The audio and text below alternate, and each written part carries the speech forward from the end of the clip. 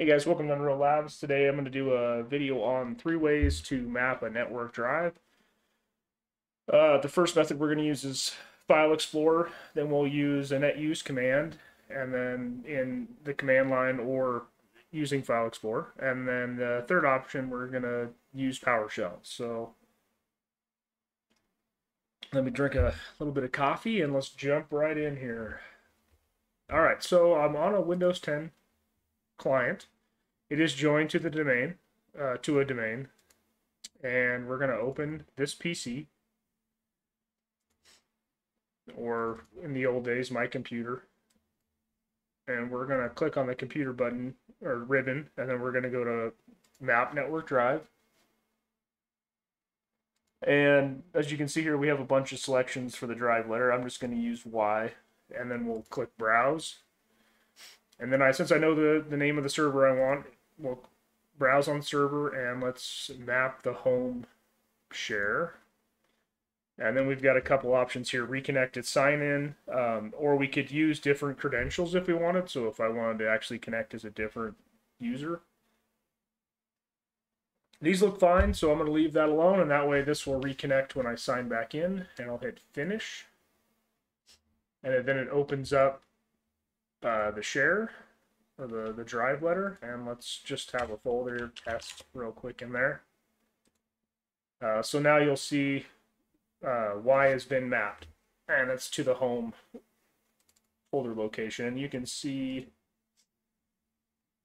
the pathing here. So let's do uh, let's do a different way in File Explorer. This is the way I usually do. It. It's a lot quicker and doesn't require network discovery. So network discovery is on for this. So that's why I'm able to browse the network. If I open network neighborhood, uh, you'll see these computers that are out there sharing. So I can click on on the computer, uh, on the server, and then I can right click and say map a network drive.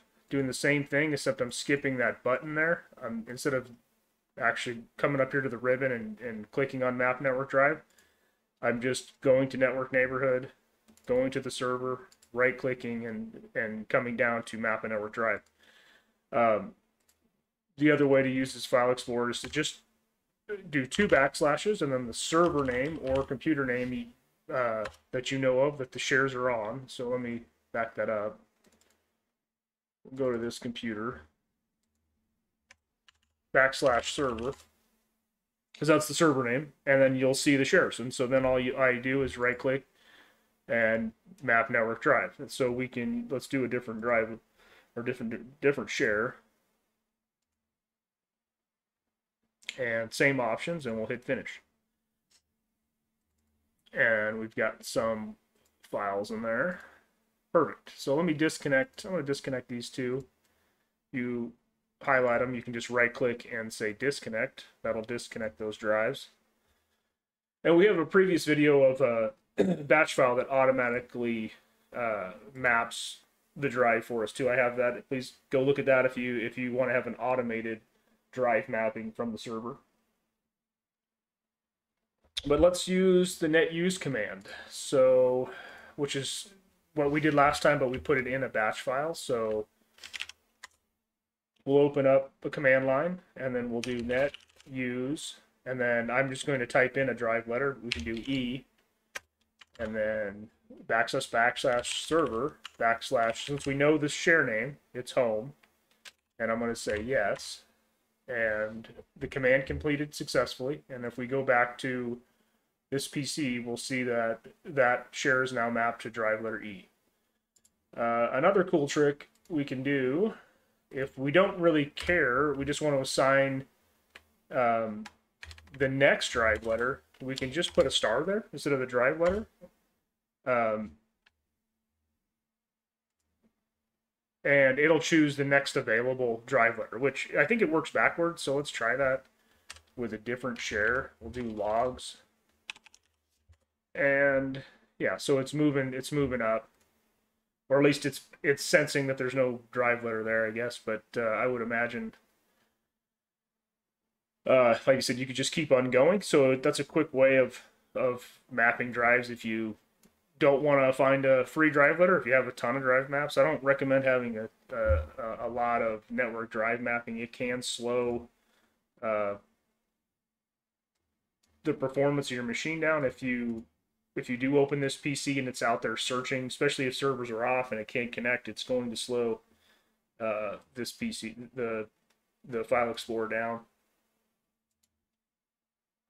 All right, so that one's done. We've done that method. So now we can do one through PowerShell. And this one I hardly ever do, but uh, unless I'm doing some kind of a script or something. But uh,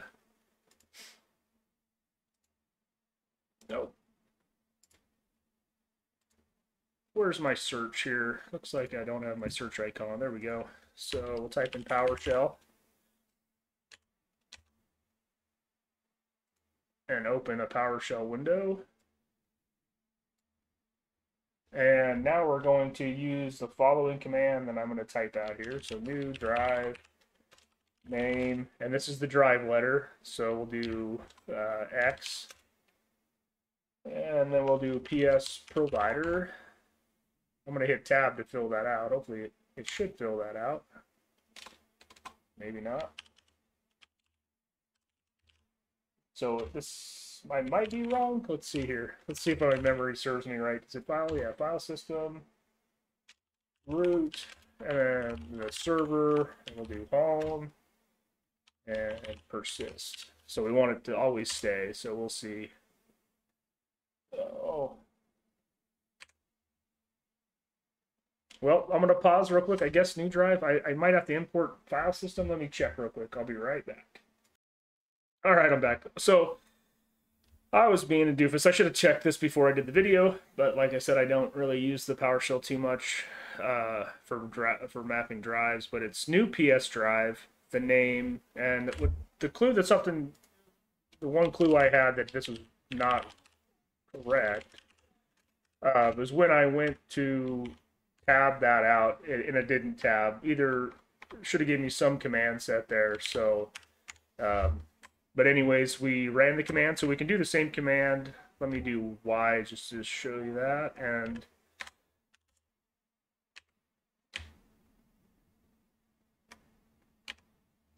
it's already being used, so we'll use T. All right, so that map two drives, same location, but as you can see, X and T are available, both both mapped to home. Uh, and then just to throw some cool things in, things I use quite a bit. If I want to, if I'm already in the command line, then you can use PowerShell. Uh, I use these two commands quite a bit. So one is, especially if I don't know, Windows 7 sometimes didn't actually tell you the, the share name on a map drive. So if you had to reconnect it, is net view and then the server or the workstation, and it'll list all the shares that are available to you on that on that box. The other one I use is net use, like we've already used it, but just typing in net use. Um, oh, I disconnected everything real quick. So let me let me map this one again to T.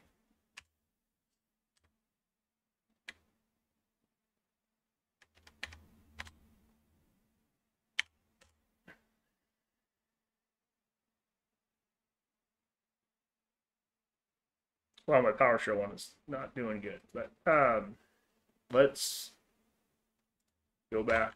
Just need to map the drive real quick. Let's go back. Oh, I lost connectivity.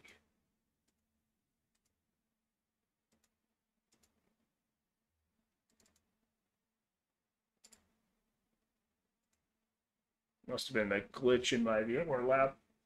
Uh, let's map Z again, so we have it. Um, and then if we do net use, it's going to list every. What, what I use it for is that it, it shows you the drive letters assigned to, but then it actually shows you, you know, the actual pathing to it. Um, so pretty handy command to have. Like I said, sorry about my PowerShell there. I'll have to go back through it. I figured I'd throw it in there, but like I said, I'm not.